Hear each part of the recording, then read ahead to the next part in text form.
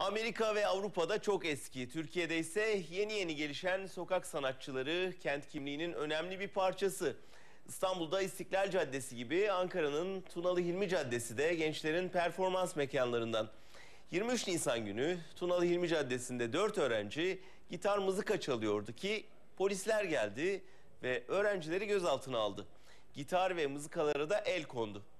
Kabahatler Kanunu'na muhalefet suçundan cezalandırılan öğrenciler serbest bırakılınca o güne kadar adı olmayan gruplarına ad koydular. İşte grup kabahat ve başlarına gelenler.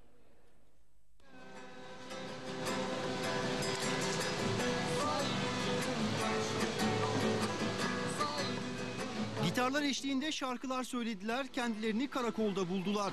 Bana bir masal anlat baba Tarih 23 Nisan 2011. 17 yaşındaki Berk Kemal Pank ve Oğuzhan Ulucak'la 18 yaşındaki Mehmet Kur'an Tunalı Hilmi Caddesi'nde kaldırımda gitar eşliğinde şarkılar söylemeye başladılar. Ancak şarkıları beklenmedik şekilde kesildi. toparlanın dedi bize. Biz de toparlandık. İşte arabaya geç, geçin dedi. Geçtik arabaya.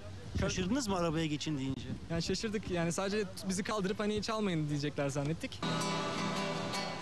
Polis gidin demedi. Gençleri gözaltına alarak karakola götürdü. Böyle bir şeyin kabahat olması beni gerçekten üzdü. Biraz panikledik. Ama hiç korkmadık yani. Sonuçta biz kötü bir şey yapmıyorduk orada. Müzik yapıyorduk. 3 lise öğrencisi daha sonra 225 lira para cezasının tutanaklarıyla karakoldan ayrıldı. Para veren oldu mu size performansın sırasında? Para veren oldu. 25-30 lira kadar topladık. Cezayı karşılamadı yani. E tabi. 23 Nisan'da beklenmedik olayla karşılaşana kadar grubun herhangi bir ismi yoktu. Ancak bundan böyle müziklerini Kabahat ismi adı altında yapacaklar. Ankaralılarsa grup Kabahat'in şarkılarından memnun.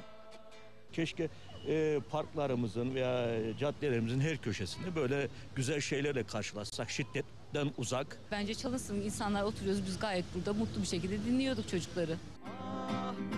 Şikayet üzerine haklarında işlem yapılan gençlerin gözaltına alınmadığını, karakola davet edildiğini belirten emniyet yetkilileri ise karakoldaki işlem süresinin sadece 19 dakika sürdüğünü ifade ettiler.